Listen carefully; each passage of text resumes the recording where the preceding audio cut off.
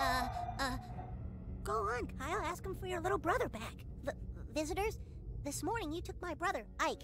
He's the little freckled kid that looks like a football. At first, I was happy you took him away, but I've learned something today that having a little brother is a pretty special thing. Yeah. Ah, heck, Mr. Visitors, I'm just a kid all alone in this crazy world, but if you could find it in your hearts or whatever you have to give my brother back to me, it sure would make my life brighter again. That was beautiful, dude. Did it work? Nope, they're leaving. Hey, you squatty ass shit! What the f is wrong with you? You must be some kind of f- to be able to ignore a crying child. Whoa, dude! You know what you f- like? You like to f- and f- and f- and f- Hey, Wendy, what's a